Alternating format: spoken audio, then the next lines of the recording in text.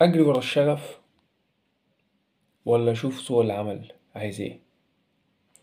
تعالى كده نفكر مع بعض يعني بندردش. أنا مثلا خريج فليكن كلية ما. الكلية دي شغفي فيها إن أنا أكون دكتور في الجامعة. ده حلم أي طالب يدخل في سنة أولى كلية. إن هو بيبقى دكتور في آه دكتور في الجامعة بقى ومش. بعد أول ترم يقول لك يا رب أنجح بس. شغفي إن أنا أكون كذا وكذا وكذا وكذا وكذا وكذا. طب مريت بموقف أحبطت فيه أو سقطت في سنة من السنين أو فشلت في حاجة ما. أنا بقيت محبط خلاص وعايش دور الضحية ومش حابب كل ده.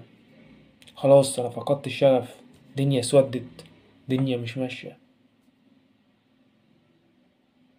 لو الكونسبت ده فضلت عليه فترة طويلة انت يعني بالبلدي انت هتحرق سنين من عمرك.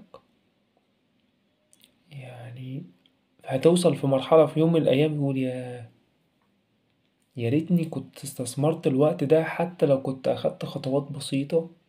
كنت زماني دلوقتي في المكانة الفلانية. طب هتحس بده إمتى بقى؟ لما تلاقي حد من زمايلك وصل للمكانة دي أو أقل من نص المكانة دي وانت محلك سر. أنا مش هديك نصيحة بس أنا هقولك السوق بيقول إيه. شغفك على عيني وعلى راسي. عشان أنا اتلسعت من الحتة دي. اتلسعت منها جامد. سوق العمل عايز إيه؟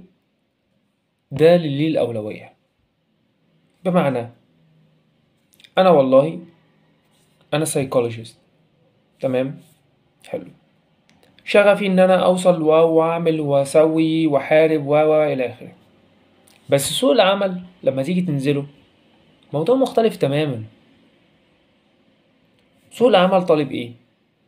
أول حاجة عشان أنا أمشي في الكارير بتاعي محتاج فلوس كتير ومصاريف كتير. طب أنا هصرف على ده منين؟ لو أنا اشتغلت في تخصصي للأسف في البداية مش هاخد فلوس إلا بعد فترة طويلة والدخل يا دوبك هيجيب مصاريف شخصية. طب وبعدين؟ طب ما الشغف اسيب الكارير بتاعي أو اسيب الشغف بتاعي اللي أنا بحلم بيه. ولا أتعلم مهارات سوق العمل طالبها ومع الوقت الاس- الخطوة التانية هتبقى إيه. ده concept مهم جدا. حاول إنك دايما تشوف إيه اللي مطلوب في سوق العمل. أول حاجة اللغة هي بالفعل هي 30% اللغة. وبعد اللغة 30% التانيين هي الخبرات العملية بتاعتك.